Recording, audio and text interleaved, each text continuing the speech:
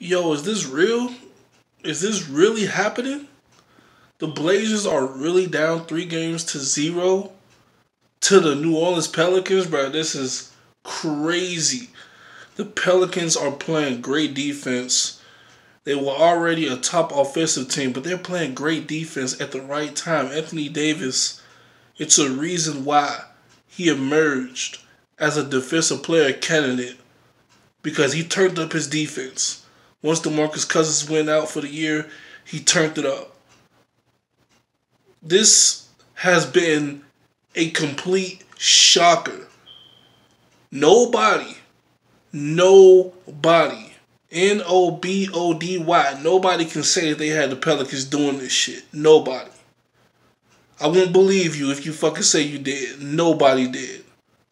They probably had them winning the game, maybe two, maybe it going to seven, but nobody had them winning three straight and taking a 3 0 commanding series lead over the number three Portland Trailblazers, the number three seed in the West.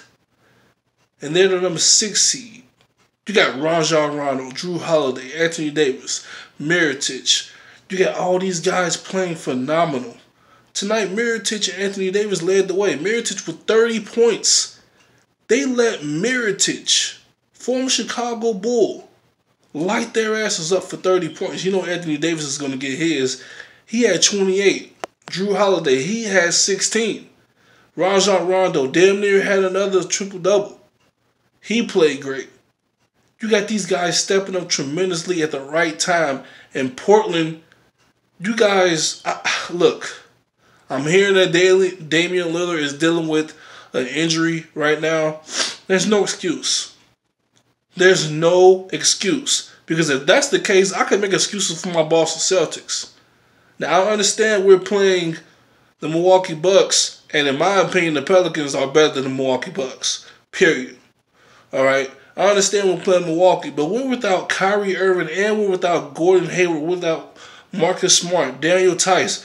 We are without some of our best players, two of our best players, in Kyrie and Gordon Hayward. We didn't have Gordon Hayward at all this year, but only about a couple minutes into the fucking season. So there's no excuse. Damian Lillard is a combined 18.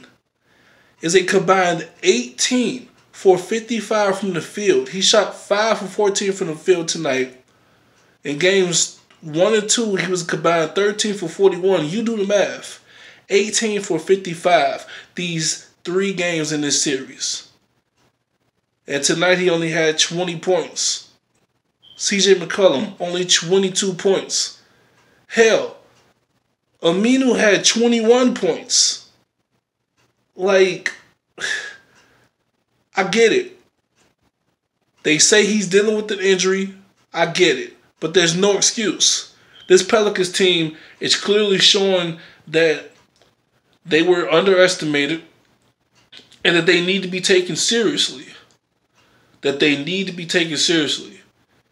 What a fucking complete shocker this is. The Pelicans are doing the damn thing. This is incredible, man. Portland Trailblazers, you're done. You're not coming back down three games to zero. I'm sorry. If it happened to happen, though, it would be insane. Um, props to y'all on making some history, but I don't think it's going to happen if I'm not mistaken, nobody has never came back down three games to zero in the series. I could be wrong, or was that the finals? I think somebody has, but it wasn't in the finals. But look, the point is, the Blazers are done. Damian Lillard, C.J. McCollum, Aminu, Nurkic, Evan Turner, all you guys, that's tough. The Pelicans are on your ass this year. They mean business. They ain't playing no games. Save those injuries for your mama because don't nobody want to hear them. Say goodbye, my nigga. It's over with. Y'all already know to do. Turn on your post notifications so you don't miss a video. You turn on post notifications on, you'll be able to get my videos once they're uploaded. Hit that like button, hit that subscribe button for your boy is right there, and also hit those links in the description. Twitter, Instagram, Facebook. Follow me on all my social medias. I'm out of here, man. The Heat, they lost today. They're down two games to one. And the Warriors take a commanding 3 0 lead over the Spurs. Blazers, that's tough.